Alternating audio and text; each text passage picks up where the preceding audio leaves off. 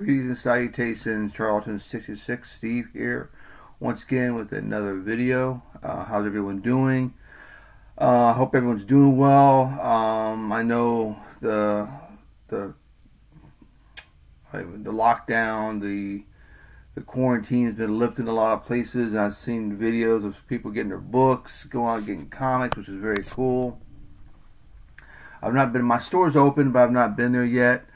Um, just uh, just just waiting for a little bit. You know, I know comics have come. I think they're saying the 28th or something like that. Diamond is going to start releasing the new book, so I'll go after that. Uh, no no need to be going right now. Um, not too much going on. I've been doing a lot of reading, which brings me to the video. Um, I was reading a bunch of books, um, some uh, some random issues, and I was, as I was putting them away, I was like, you know what? Why not just share them with people and show you what I've been reading and show you what I've been up to. Um, the uh, current situation of being in quarantine, like I said, us comic collectors, we've got stuff we can do. We just can't get our new books, but now that's changed. So, um, but before, like I said before, we've got a lot to do, a lot to read. So, like I said, I hope everyone's doing well. Um, some of the stuff that I've been reading. Um, this was a stack I just randomly pulled out. Uh, I won't go through all of it. Uh, maybe I will, but I won't go into detail because I think a lot of people have seen some of these books in their own collection or or elsewhere. Um, but it's just what I just pulled out and, and, and decided to read. Um, it's a it's it's a, it's a it's a healthy um, eclectic stack. One of the books that book books that I'm reading now um, is The Avenger. Um, these are new stories um, called the Justice Incorporated Files. Um, got diff- a bunch of different stories by different people in this book. Um, if you don't know, The Avenger is a uh, pulp hero.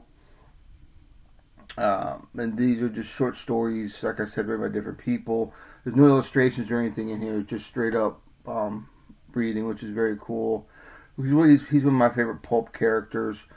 And talking about pulp characters, um, I talked about Doc Savage before in my last video. I'm going to go over a couple newer, not newer books, but add some more of his adventures to the order that they appeared in sometime during this video. So I won't labor the Doc Savage issue or situation, but I got a lot of good responses in the last video, a lot of good um, uh, comments and stuff, which I've not answered yet. I do apologize.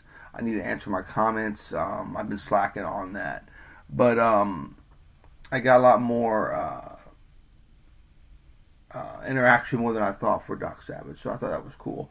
One of the things that I, that I read, I had had this for a while, but I reread it again because I like obscure characters, be it Marvel or DC. Uh, more obscure, the better. Uh, that's why I'm a big Charlton fan obscure books. I love them in my collection. I don't. I'm not going for the big guns. Uh, even though I got a lot of big gun issues in my collection, I don't. That's not what I, I like. My focus is on obscure heroes, which is one of the reasons why I like Men of Mystery. Um, Men of Mystery have popped up on Instagram. People not knowing really what it is. It's just a bunch of reprints from Golden Age, um, Golden Age characters um, put up by Bill Black and it's got a lot of obscure stuff. And one of my favorite characters is why I read this issue again is the Hood, which his coloring is not the way his costume was in the comics. Um, he had, in fact, referring to my um, classic fanzine, um, um, The Collector's Handbook Volume 4, which talks about Golden Age characters. This came out in the 60s and talks about when they first appeared. And a lot of in this particular issue, a lot of stuff by Don Newton before he hit pro. But in this one, here's the hood. It looks much better here um, than he did on that cover. But according to this, um, he of course he's a Holyoke character, appeared in Catman comics, which I'd love to get my hand on some Catman comics just for the Hood character. Um, uh, he had um, uh, the Black Hood that, um, that it was yellow, which is the main part, which he got right here. Um, his hood, cape, and boots were blue. His gloves and trunks were red. So, um, kind of like, according to that, it's kind of like off on this one. But it's a cool story. Uh, I won't belabor this issue too long because I got some books to go over. But it's it's quite nice. Um, love the splash page.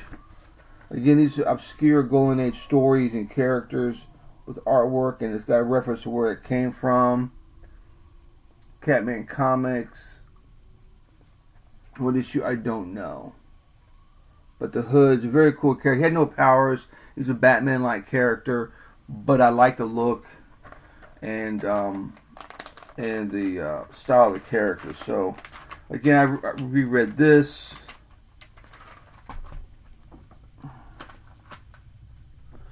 Um, a blast from the past for a lot of people um, who watch my channel who've been around since the Eclipse years. Detectives Incorporated, which um, by Don McGregor and um, Marshall Rogers. It's a detective story, but it's real cinematography. How am I trying to say? Um, it's like cinematography, but cinematograph. I don't know what I'm trying to say, but it's set up like a movie, but it's real gritty. Um, here's one, and um, here's two. For mature readers, only came out with these two issues. I think they did a trade. I don't know for sure. I should have looked up in my price guide beforehand, but um, really, really cool series. I read that. Um, here's an interesting book. Um, I think everyone should have this in their collection, uh, if, particularly if they're in the history of, of comics and stuff. Um, let me take it out of the mylar.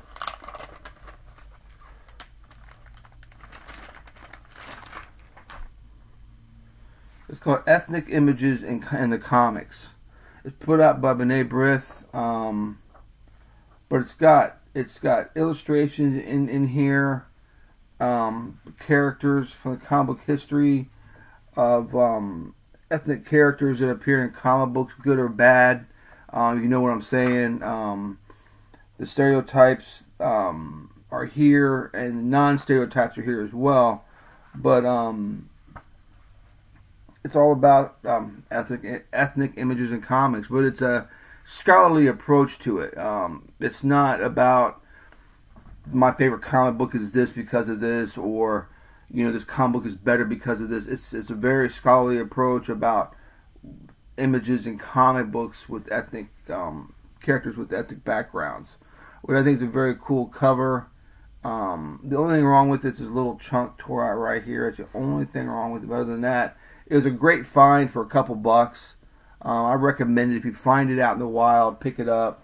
Highly recommended, um, particularly if you're into history of the medium and history of comic book characters and um, just have a more uh, fundamental knowledge of what you're talking about. You know, when you are referring to comic books and characters and, and whatnot. Um, that was pretty good read. It took me a while to read that. Um, again, like I said, it's nothing like a, what comic book is better or anything like that. It's straight scholarly approach to the subject. Um, one of my favorite Western comics and one of my favorite radio shows of all time. One of my favorite radio shows. I collect old time radio, and one of my favorites is Tales of the Texas Rangers. And here's a nice high grade copy. This is number 14, um, Dell. Um, but it's a great, great cover. Um, but it's a great radio show. Um, love the radio show. Love the comic. It's fun. Um, Four Color put out a bunch of issues that tell the Texas Rangers. Then he got his own his own series. I think that's from '54. I think. Um, another comic book I read, which is which is fun. Uh, I don't have a lot of ACG westerns, so I was happy to get this Blazing West a while back. I don't know if I ever showed this or not. But this was a good. There's a long read on this one. A lot of ACG books from the 50s are are um long read. Excuse me. I, I, love the logo on this. Um, oh, one of my favorite sci-fi, um, Strange Adventures. Um, this this was a fun book. I love the cover. The cover was striking. It's one of the, this is one of the books I bought. Oh, geez, maybe 40 years ago that I thought was a big deal because it was one of my first 10 centers. Um, but I've I've had this book in my collection ever since. I love the cover. Um, reminded me of a Twilight Zone or reminded me of an old sci-fi novel. So I picked it up. Um, I was like 10, 11 when I picked it up. I thought it was such a big deal. Have a 10 cent comic in my collection, but I re I reread this, and this is this is a fun book. This is Strange Adventures 128. Fun, fun book. Now this, I'm going to go backwards on, on this for a second. I'm going to show another Strange Adventures, but one of the things that came up on Instagram and someone posted, and I, I meant to look to see what it was, but one of my one of the comics I bought uh, well, my cousin had it long time ago when I first saw it. It scared the hell out of me, and then I was able to get it many years later in my collection. But this is a Joe Kubert cover, and this is what is very cool about this cover. This is how um, Earth sees the first alien spaceman who landed on planet Earth, but this is how they really look like. So it really it, it terrified me. I do remember this this this particular issue. Um, again, when I bought it again, thirty something years ago, long long time ago, I remember it and I bought it and I enjoy the stories. And again, anyone who gets from Beyond the Unknown knows how cool these reprints are. So again, buying it, not realizing it was really a reprint. So then I was able to find the original one that came out. Nothing against Gil Kane, but the Joe Kubert cover is much more terrifying. Um, this is the actual story. This is Strange Adventures number 154. Um, great Gil Kane cover. Love the spacesuits on, on on this. Uh, it's reminiscent of the, uh, the Kubert drew from this, but his is much more terrifying, I think. This is much more streamlined sci-fi for its time. Um, but I enjoyed both of these books. I read those. Um, they're a fun read. And again, this is a, a, a two book-in books. Good, I'm only at 12 minutes. I could probably finish this up here before 15. This is a good um, two-parter if uh, if if you like it. Consider it's got the two of the coolest Silver Age teams, Challengers of the Unknown, Doom Patrol. Outside of my beloved Metalmen, this this is my favorite Silver Age teams. Um, Doom Patrol and Challengers of the Unknown, Eight Against Eternity, which is very cool cover. This is Doom Patrol number 102.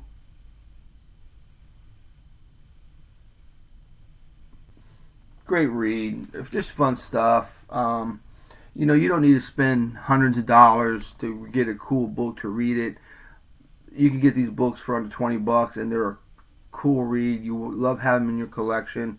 And this is the um, Twilight of the Challengers, which is very cool cover. This is Challengers of the Unknown number 48 which outside of the original purple outfits, purple and white outfits, these are my favorite challengers um, garb, so to speak. Again, that was that was a fun read. I mean, I read that probably. I pull that out probably once every other year, every year or something like that to read it. Back to the um, Golden Age Men of Mystery. Um, Commando Yank. Um, uh, it has Ibis in this, which I'm a big Ibis fan. Um, classic Golden Age, obscure heroes. If people are into the Golden Age and want to learn more about it, I highly recommend those books. Um, it has a lot of write ups in there. Um, the Golden Age Men of Mystery now. It's very sporadic. It's twenty nine ninety five for I think hundred and something pages. Um, but Bill Black puts it out, and I've said it before on my channel that it's a labor of love for him. He barely breaks even on putting these books out.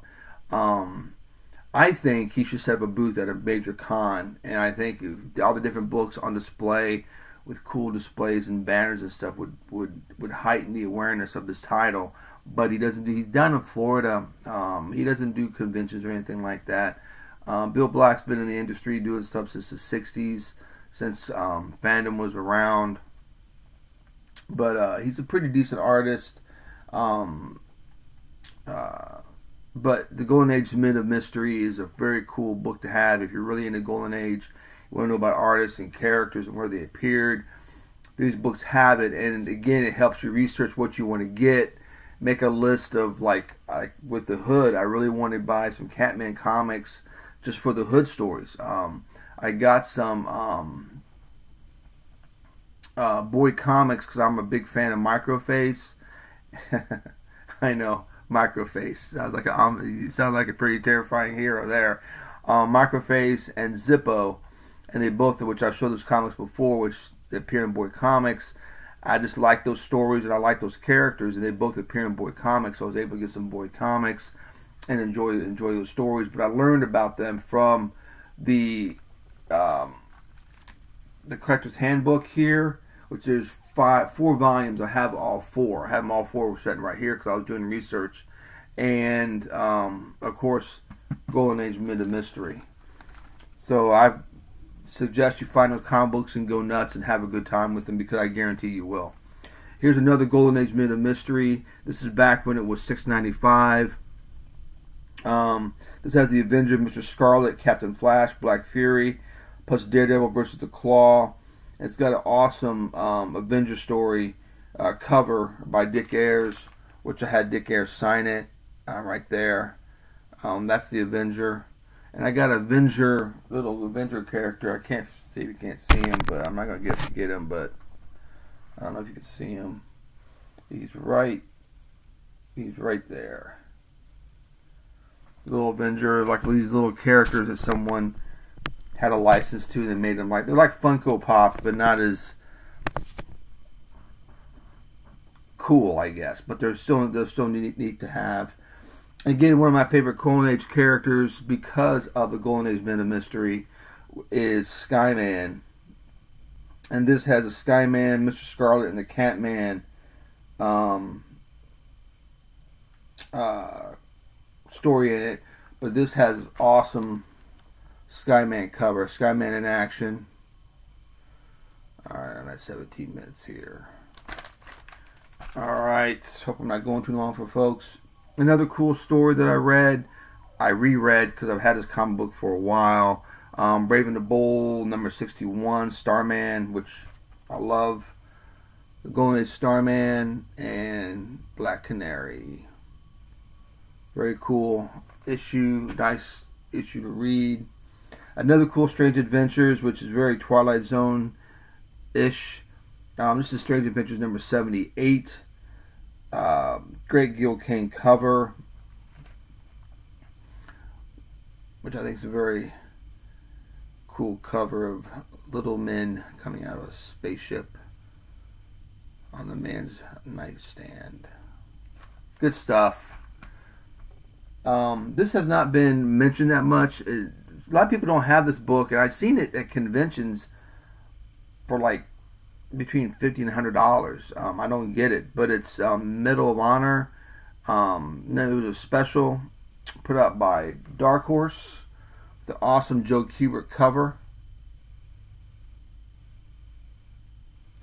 which is a crazy cover, man. Um, I think it's the only thing Joe Kubert's ever done for Dark Horse.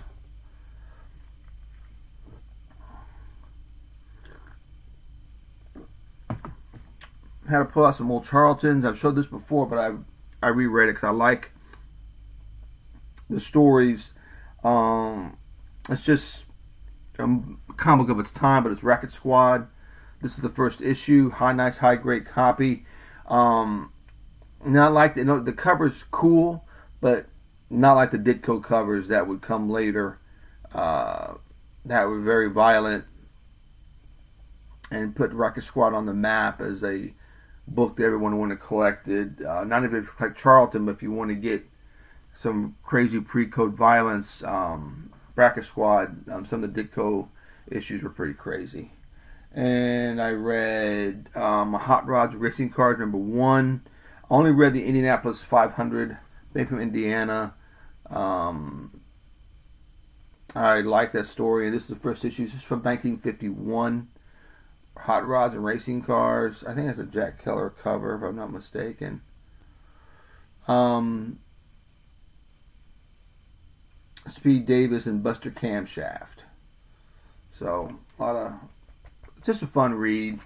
Nothing to write home about, but it's it's still cool. Lasted a long time. Hot rods and racing cars lasted a, lasted a while.